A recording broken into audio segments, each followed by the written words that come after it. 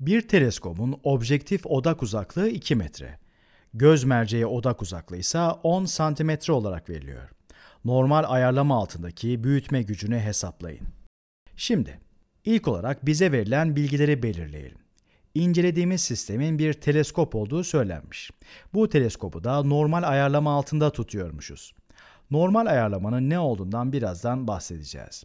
Aynı zamanda objektifin ve göz merceğinin odak uzaklıkları da verilmiş. Bu bilgileri kullanarak bizden teleskobun büyütme gücünü hesaplamamız isteniyor. Öncelikle kısaca teleskobun çalışma prensibini hızlıca tekrar edelim ve normal ayarlamanın ne demek olduğunu görelim.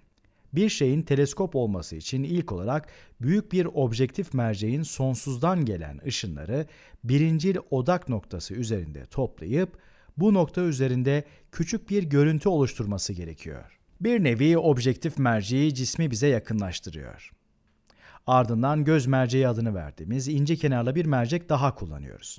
Bu mercek ise bir büyüteç görevi görüyor. Göz merceğiyle oluşan yeni görüntüyü daha yakından incelemek için oldukça yaklaşıyoruz. Normal ayarlama dediğimiz şey aslında gözümüze gelen ışınların birbirlerine paralel olarak gelmesi anlamına geliyor. Yani gözlerimizin rahat olduğu konuma normal ayarlama durumu diyoruz. Bu durumun olması için objektifin oluşturduğu görüntünün göz merceğinin birincil odak noktasında bulunması gerekiyor. Bu sayede kırılmadan sonra gözümüze gelen ışınlar birbirine paralel olarak gelir.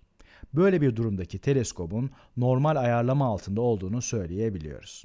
Soruda bize hem objektifin hem de göz merceğinin odak uzaklıkları verilmiş ve bizden büyütme oranını bulmamız istenmiş. Peki, herhangi bir optik araç için büyütme gücünü nasıl tanımlamıştık? Optik araç olduğu zaman gözümüze gelen ışınların optik merkeze yaptığı açının optik araçsız yaptığı açıya oranıyla büyütme gücünü hesaplayabiliyorduk.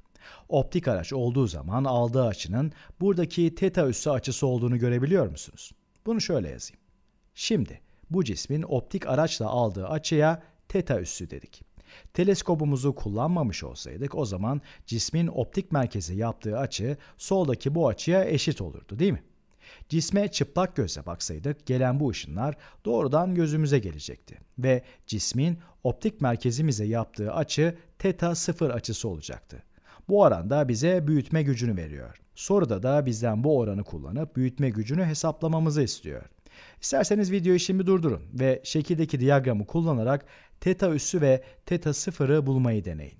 Ve belki de daha sonra verilen değerleri kullanarak soruyu çözmeye çalışın. En azından denemenizi öneriyorum.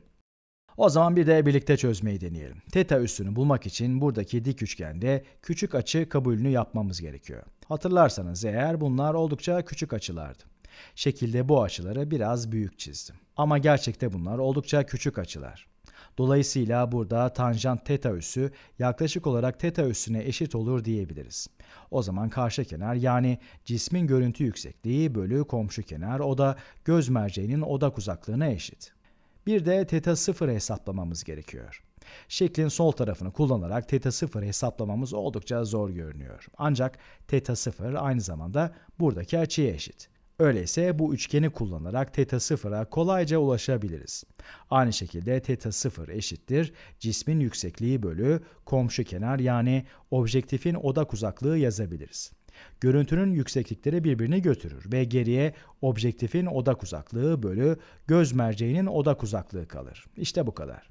Büyütme gücünü bulmak için bu işlemi yapmamız yeterli olur. Normal ayarlama altında olan teleskop sorularında genelde bu şekilde yapmayı seviyorum. Gördüğünüz gibi büyütme gücü formülünü ezberlemek zorunda değiliz. Teleskobun çalışma prensibini aklımızda tuttuğumuz zaman da formüle ulaşabiliyoruz. Öyleyse artık formüle sayılarımızı yerleştirebiliriz. Objektifin odak uzaklığı soruda 2 metre olarak verilmiş. 2 metre bölü göz merceğinin odak uzaklığı. Bunun da 10 santimetre olduğu söylenmiş. Burada birimlere dikkat etmemiz gerekiyor. 10 santimetre. 2 metreyi santimetre cinsinden yazarsak 200 santimetre eder. Burası da 10 santimetreydi. Santimetreler birbirini götürür, birer sıfır yok olur ve sonucu 20 buluruz. Dolayısıyla bu teleskoptan elde ettiğimiz büyütme gücü 20 oluyormuş. Bu sonuç şu anlama geliyor. Teleskop kullandığımız zaman cismi gördüğümüz büyüklük çıplak gözle cismi gördüğümüz büyüklüğün tam olarak 20 katı ediyormuş. Bazı sorularda sizden aynı zamanda objektifle göz merceğinin arasındaki mesafeyi de bulmanızı isteyebilirler. Aralarında sabit bir uzaklık olmalı. Bu uzaklığı da kolayca bulabiliyoruz değil mi? Bunun için objektifin odak uzaklığıyla göz merceğinin odak uzaklıklarını toplamamız gerekiyor. Bu soruda iki mercek arasındaki uzaklığı hesaplamak isteseydik yalnızca iki odak uzaklığını toplamalıydık. Cevabın da 2 metre artı 10 santimetre olacağını söyleyebilirdik. Yani aradaki bu mesafe 210 santimetre o da 2,1 metreye eşit olurdu. Gördüğünüz gibi bu oldukça uzun bir teleskopmuş. Çünkü böyle bir büyütme elde edebilmemiz için teleskopun da oldukça büyük olması gerekiyor.